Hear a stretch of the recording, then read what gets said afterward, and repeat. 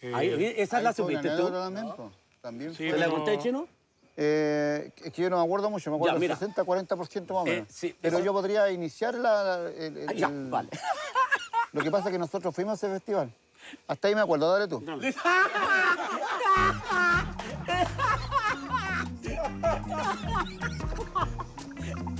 Fuimos a uno de los tantos festivales que hay en Chile. Había pasado media hora desde que nosotros empezamos el show y teníamos, estaba todo bien. Y de repente entra un compadre caminando por al lado de nosotros así y se para al medio del escenario y pesca el micrófono.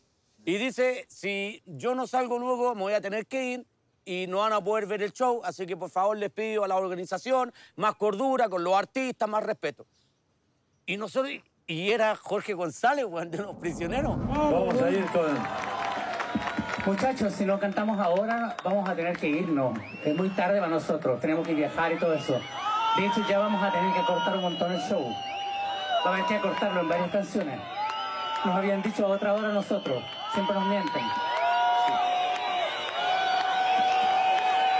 Sí, sí, sí. Chiquillos, eh, disculpen, pero en honor al tiempo, en honor al tiempo, tenemos que hacerlo así. Para la próxima, hacemos el show completo. Gracias, chao, que les vaya bien. ah, En honor al está esperando su turno para salir después de usted. sí. Después de nosotros.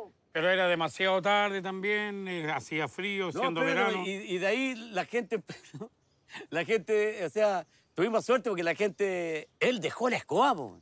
Entonces la gente empezó a decir, ah, atleta, ah, atleta, porque querían seguir viendo el show. po. Y después venía el, su turno. Y esa misma noche le vino el, el derrame que tuvo, si él tuvo un accidente vascular, creo, algo así fue. Gracias. Y eh, eh, eh, ¿quién está? Nosotros.